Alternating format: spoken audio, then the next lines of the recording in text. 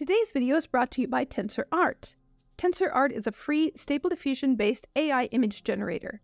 You may have seen image generators like this before and felt a bit intimidated by all the tech lingo.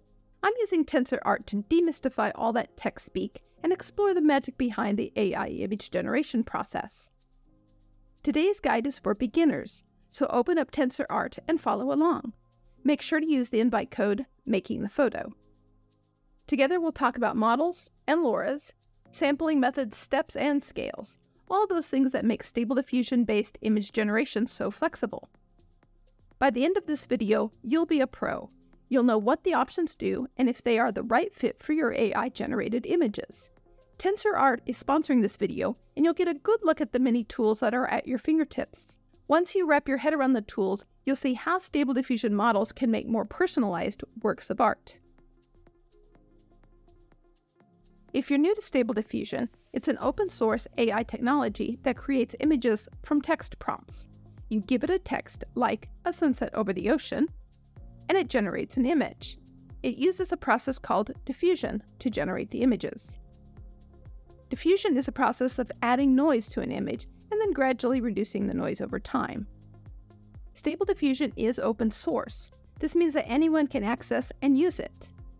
Stable Diffusion forms the backbone of many AI image generators like TensorArt.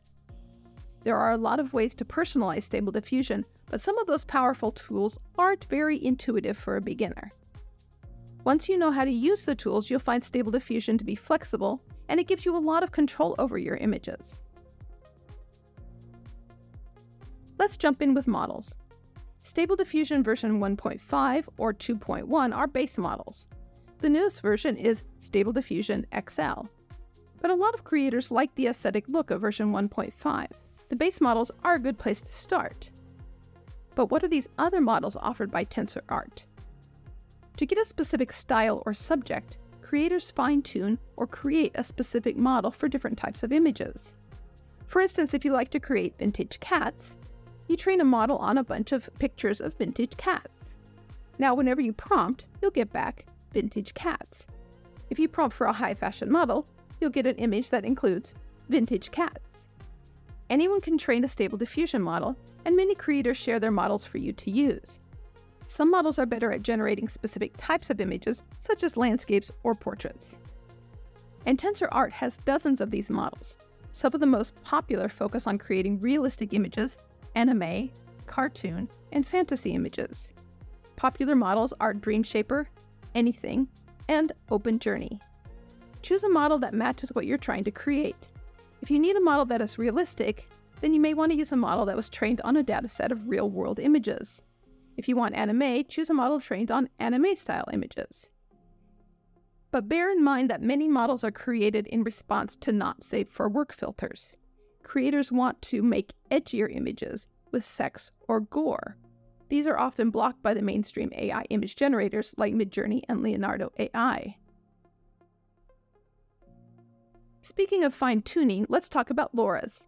If you've tried generating images and ended up with unrealistic Picasso like results, with weird hands and face distortions, then LoRa's are your new best friend.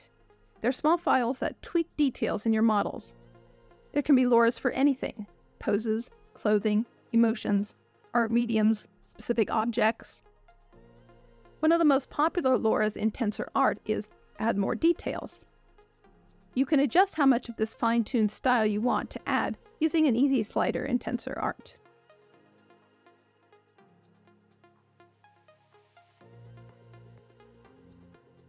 You can even add more than one LoRa and mix the styles together.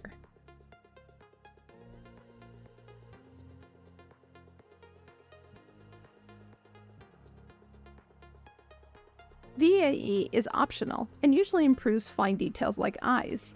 Think of it as the icing on the cake that helps your images stand out with more vibrant colors and crisper details.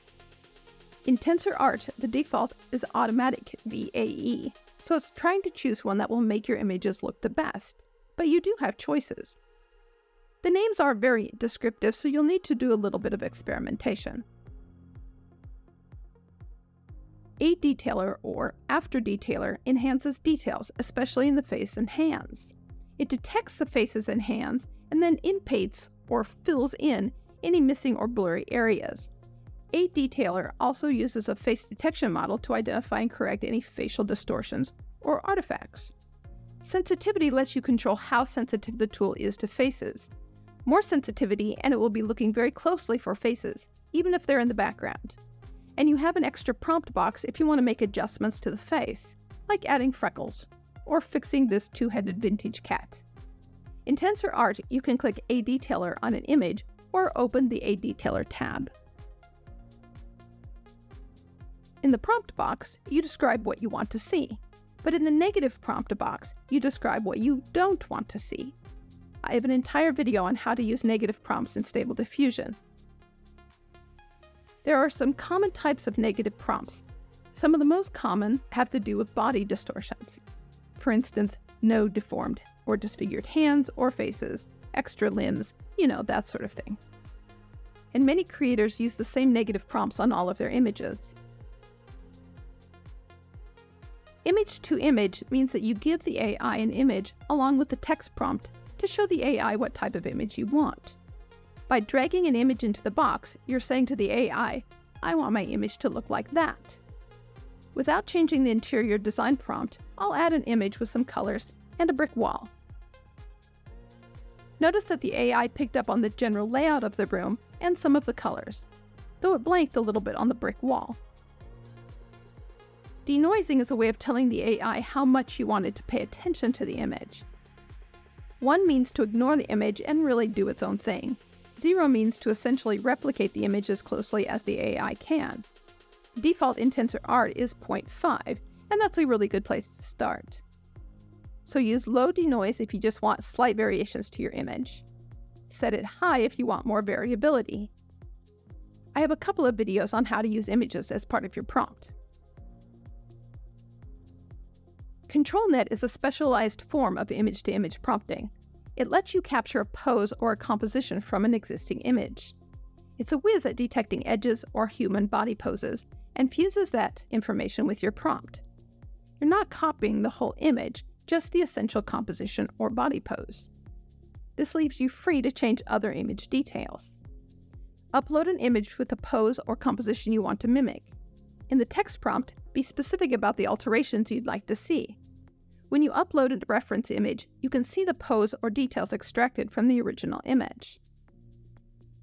Popular ControlNet models are OpenPose and Canny Edge detection, but with TensorArt, you're a little bit spoiled for choice. Aspect ratio is the shape of your image. The default aspect ratio in TensorArt is 2 by 3 portrait. But you don't have to stick with this. You can make your image wide by switching to a landscape orientation, or you can click on Custom and use the sliders to specify an aspect ratio. TensorArt will make an image up to 1024 by 1024 pixels square. While we're talking about aspect ratios, let's talk about the high res tool. High res comes to the rescue when you're creating non-square images. The AI prefers making square images at a default resolution of 512 by 512 pixels. Want a tall or long image, or one with higher resolution? That's when you need high-res fix. Essentially, high-res fix first crafts a low-resolution image, and then it scales up this image to the resolution or the aspect ratio that you want. This process significantly reduces the chances of oddities in your final piece, like multiple heads or repetitive patterns. Denoising in high-res fix operates like it does with image-to-image prompting. It's your say on how much variation you want between the first, low-resolution image and the high-resolution output. The default in TensorArt is 0.5, and that's a safe bet for starters. As for the best upscaler, there's no clear winner. It's a game of trial and error to find your sweet spot. For the next tools, you have to know a little bit about what's going on under the hood of the AI image generator. AI image generators sculpt images from noise. The AI starts with a random mess of noise and chisels away at it step by step until we're left with a gorgeous, clean image. There are many ways the AI can make an image from noise. The process used is called the sampling method. In TensorArt, the default setting is a Euler A, but you have other choices. Advanced Stable Diffusion creators will notice a difference between the sampling methods, but plenty of Stable Diffusion users keep the default. But if you want to change the sampling method, here are some popular choices. Steps are related to sampling method. It's the number of passes the AI makes, gradually reducing noise at each stage. More steps equate to a gradual noise reduction, like sandpapering wood for a smoother finish. It's precise, but demands more computer power. Fewer steps are quick and efficient, but the leap between stages might lead to some hiccups in the image generation. TensorArt sets you at 20 steps by default, and that's a balance that usually yields good results. The CFG scale is also known as the prompt guidance scale. You're telling the AI how faithful to be to your prompt. It's all about finding that sweet spot between fidelity to your idea and the quality of the image. Lower CFG values might give you a stunning picture that's a bit off prompt, while higher values stay true to your prompt at the risk of a lower aesthetic appeal, especially if you haven't used any style words. In TensorArt, the CFG scale ranges from 0 to 30, with 7 being the typical setting. Consider the CFG scale as your creativity control. It's your way of guiding the AI's imagination. If the default setting of 7 isn't hitting the mark, don't be afraid to play around with this slider to achieve your perfect balance. When the AI kicks off the image generation process, it blends your prompt with a random image, or seed. For most creators, the random seed works just fine. If you run a prompt several times, the image will be different because the AI is picking a fresh new random seed each time. But if you get an image that you really like, you can keep that seed, lending a certain consistency to your future creations.